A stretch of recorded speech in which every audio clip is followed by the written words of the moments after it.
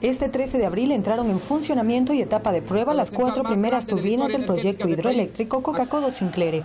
Con su funcionamiento se generará 750 megavatios de energía limpia.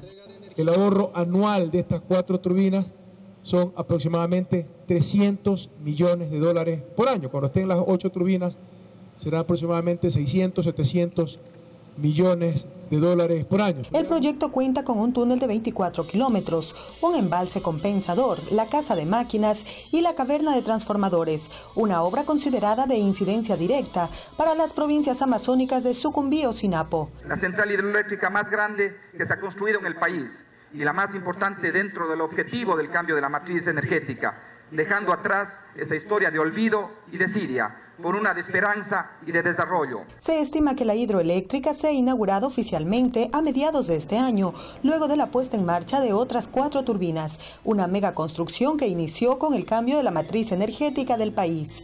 Proyectos que nos permitirá tener esa energía que cada día demanda más nuestro país porque cada día avanza, se desarrolla. La puesta en marcha de este megaproyecto se constituye en un hito para el país. Con el funcionamiento total de Coca-Cola Sinclair se aportarán 1.500 megavatios al sistema interconectado nacional. Además, se podrá exportar energía a países vecinos. Marilu Capa Inunque, Ecuador TV.